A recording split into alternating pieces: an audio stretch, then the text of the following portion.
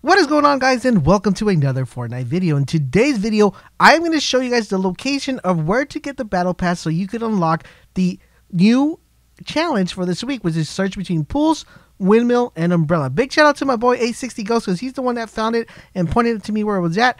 So you're going to want to be heading towards the area of motel. You're going to want to be heading to the motel where the umbrella, you know, kind of like where you see the umbrella when you're going down the map and between anarchy. What you're going to do is go to the location and you will be noticed that right above the umbrella next to this tree, you will be able to get the nice symbol that spawns right next to the tree.